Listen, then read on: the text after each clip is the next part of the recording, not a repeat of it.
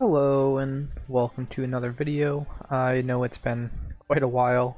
Um, unforeseen circumstances happened, especially due to this uh, COVID going on.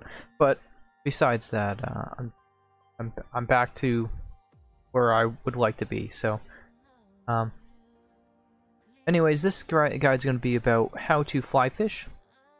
Uh, so, what you'll have to do is you'll have to go get at least 20 fishing, and you'll have to go and get a fly fishing rod and feathers.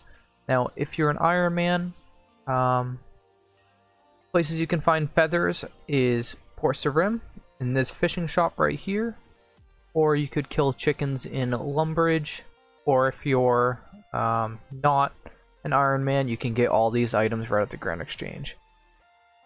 So to start fly fishing, all you have to do is have these two items in your inventory, and all you have to do is click on a fishing spot, which there's not one over there. There's one over here. But that's that's all you need. Um, it's pretty simple. So I hope you enjoy this video. Have a good day. Bye.